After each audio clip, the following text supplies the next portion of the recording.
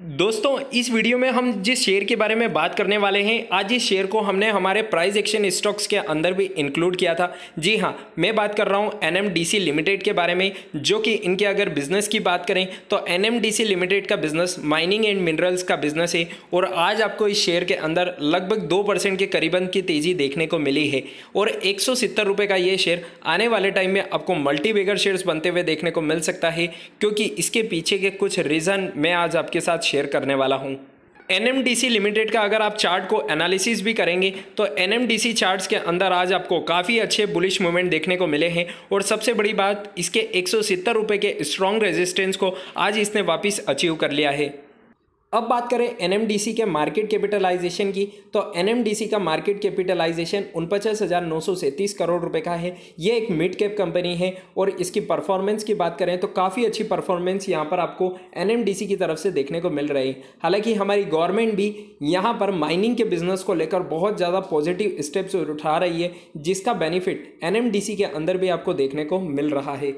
NMDC के अगर हम पिछले एक महीने की परफॉर्मेंस की बात करें तो बहुत बढ़िया परफॉर्मेंस यहाँ पर निकल कर आ रही है। एनएमडीसी ने पिछले एक महीने में अपने इन्वेस्टर्स को लगभग साढ़े बाईस परसेंट के रिटर्न बनाकर दिए हैं। उसी के सामने अगर निफ्टी फिफ्टी की बात करें तो निफ्टी फिफ्टी ने सिर्फ़ पॉइंट टू एट परसेंट के रिटर्न यहाँ पर बनाकर दिए हैं। अगर NMDC के हम यहाँ पर फिफ्टी वीक की हाई की बात करें तो NMDC ने अपने फिफ्टी वीक के हाई को सिर्फ़ कुछ दिन पहले ही यहाँ पर अचीव किया था।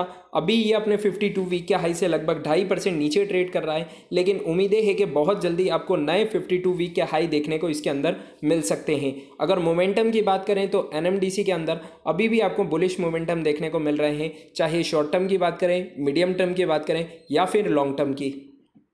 यदि आज आपने प्राइस एक्शन स्टॉक्स के अंदर एनएमडीसी को देखकर अगर उसके अंदर इन्वेस्टमेंट किया है तो कुछ लेवल्स मैं आपके साथ शेयर करना चाहूँगा। इन लेवल्स का आपको बहुत ज़्यादा ध्यान रखना है। पहला रेजिस्टेंस आपको एक सौ सितर रुपये अट्ठाईस पैसे का लेकर चलना है, जो कि आज के दिन ही आपको अचीव होते हुए देखने को मिल गया है। दूसरा रेजिस्टेंस एक सौ तिहत्तर रुपये बाईस पैसे का लेकर चलना है और तीसरा रेजिस्टेंस एक सौ इठहत्तर रुपये तेईस पैसे का लेकर चलना है।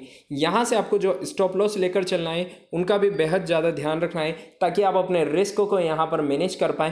पहला स्टॉप लॉस आपको एक सौ पैसे का लेकर चलना है दूसरा स्टॉप लॉस आपको एक सौ सत्तावन रुपये बत्तीस पैसे का लेकर चलना है और तीसरा स्टॉप लॉस आपको एक सौ चौपन रुपये अड़तीस पैसे का लेकर चलना है। अगर एन के हम प्राइस परफॉर्मेंस की बात करें तो एनएमडीसी की प्राइस परफॉर्मेंस भी काफ़ी अच्छी यहाँ से निकल कर आ रही है।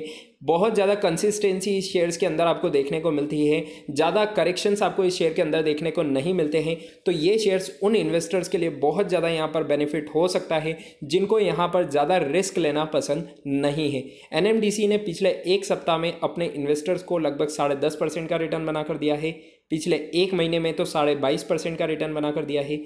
पिछले तीन महीने में छियालीस परसेंट का return year on year basis पर अड़तालीस परसेंट का रिटर्न पिछले एक साल में 132 परसेंट का रिटर्न और ऐसा नहीं है कि सिर्फ़ कोविड के इम्पैक्ट के कारण यहाँ पर इसके अंदर आपको इतने अच्छे रिटर्न्स देखने को मिल रहे हैं। इस शेयर ने, यानी कि एनएमडीसी ने अपने इन्वेस्टर्स को पिछले तीन साल में इकतालीस परसेंट के रिटर्न बनाकर दिए हैं।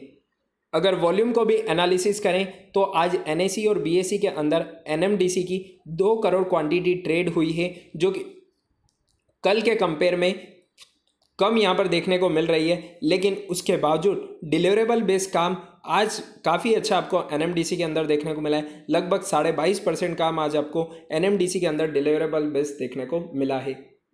कम्युनिटी सेंटीमेंट्स की अगर बात करें तो एनएमडीसी को लेकर जो कम्युनिटी सेंटीमेंट्स यहाँ से निकल कर आ रहे हैं, उसमें 91 परसेंट इस शेयर को बाई की कॉल निकल कर आ रही है और दो परसेंट होल्ड की कॉल निकल कर आ रही है। यानी कि अगर आपने एनएमडीसी के अंदर इन्वेस्टमेंट कर रखा है तो डेफिनेटली मैं आपको कहना चाहूँगा कि यहाँ पर दो से तीन ट्रेडिंग सेशन तक आप इंतज़ार कर सकते हैं।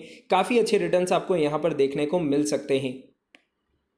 फाइनेंशियल नंबर्स को भी एक बार के लिए यहाँ पर एनालिसिस कर लेते हैं। तो एनएमडीसी के यहाँ पर फाइनेंशियल नंबर्स मैंने आपके सामने ओपन कर रखे हैं, जिसमें सबसे पहले अगर रेवेन्यू को यहाँ पर कंपेयर करें तो क्वार्टर ऑन क्वार्टर बेसिस पर तो रेवेन्यू के अंदर आपको काफ़ी ग्रोथ देखने को मिल रही है। लेकिन उसी के साथ में ईयर ऑन ईयर बेसिस पर भी अगर आप यहाँ पर रेवेन्यू को चेक करेंगे तो ईयर ऑन ईयर बेसिस पर भी रेवेन्यू के अंदर आपको काफ़ी ग्रोथ देखने को मिल रही है। अब बात करें कंपनी के नेट प्रॉफिट की तो कंपनी ने यहाँ पर जो नेट प्रॉफिट डिक्लेयर किया है, दिसंबर के क्वार्टर में 2108 करोड़ रुपए का। वो पिछले पिछले क्वार्टर के कंपेयर में काफ़ी ज़्यादा है। पिछले क्वार्टर में कंपनी ने सात सौ बहत्तर करोड़ रुपए का नेट प्रॉफिट डिक्लेयर किया था, जो कि बढ़कर 2108 करोड़ रुपए का हो गया है।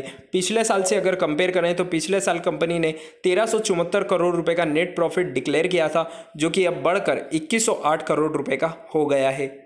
ईपीएस e की भी अगर बात करें तो डेफिनेटली यहाँ पर नेट प्रॉफिट इतना इंक्रीज हुआ है। तो ईपीएस e यानी कि अर्निंग पर शेयर्स के अंदर तो इंक्रीमेंट देखना स्वाभाविक सी बात है। तो यदि आप ईपीएस e भी अगर आप देखेंगे तो ईयर ऑन ईयर बेसिस पर ईपीएस के अंदर भी आपको लगभग तीन परसेंट की तेज़ी देखने को मिल रही है।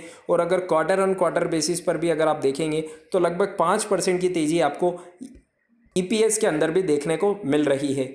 अब बात कर लेते हैं शेयर होल्डिंग्स पैटर्न्स के बारे में। तो यहाँ पर शेयर होल्डिंग्स पैटर्न जो मार्च के क्वार्टर में निकल कर आई है, जिसमें प्रोमोटर्स ने अपनी होल्डिंग्स को यहाँ पर डिक्रीज करा है।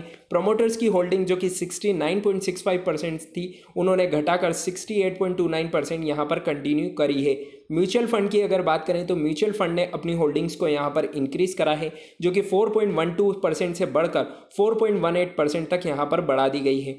म्यूचुअल फंड स्कीम के अगर नंबर्स की बात करें तो म्यूचुअल फंड स्कीम के नंबर्स के अंदर भी काफ़ी इंप्रूवमेंट आपको देखने को मिल रहा है। इसी के साथ में फॉरेन इन्वेस्टर्स ने भी अपनी होल्डिंग्स को यहाँ पर इंक्रीज करा है। तो यदि आप एनएमडीसी के अंदर इन्वेस्टमेंट करना चाहते हैं तो डेफिनेटली ये आपको काफ़ी अच्छे रिटर्न्स यहाँ से बनाकर दे सकता है। चलिए दोस्तों, उम्मीद है आपको वीडियो और अपडेट पसंद आई होगी। अगर आपको वीडियो पसंद आई है तो इसे लाइक और शेयर करना ना भूलें। चैनल को सब्सक्राइब कर लें और साथ ही साथ टेलीग्राम चैनल को भी ज्वाइन करना बिल्कुल ना भूलें। टेलीग्राम चैनल की लिंक डिस्क्रिप्शन बॉक्स में मिल जाएगी। वहाँ से आप टेलीग्राम चैनल को ज्वाइन कर सकते हैं।